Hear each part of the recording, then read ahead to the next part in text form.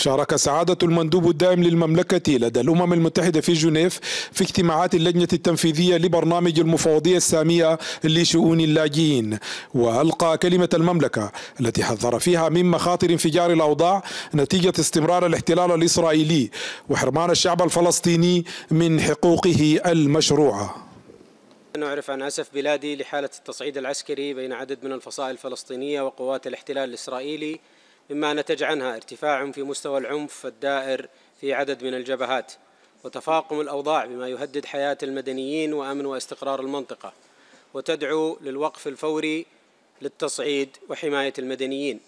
مؤكدا على الروح القيادية للمملكة من خلال المبادرات التي تقدمها في إطار مواجهة التحديات المناخية والحلول السلمية للصراعات والحروب ومن خلال نهجها الإنساني والتنموي مع إيمانها بمنهجية الحلول المستدامة لتلك التحديات.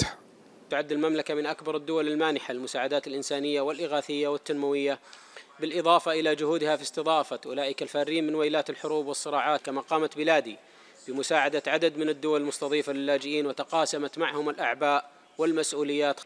Many in this room count on Saudi Arabia's leadership to uh, spearhead peace efforts in the region, not only in the Uh, uh,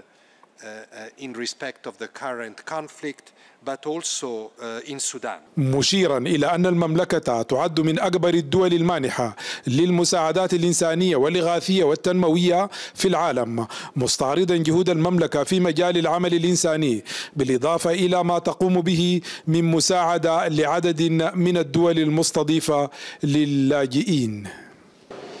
حذرت المملكة العربية السعودية المجتمع الدولي من انفجار الأوضاع في فلسطين بسبب الاحتلال الإسرائيلي.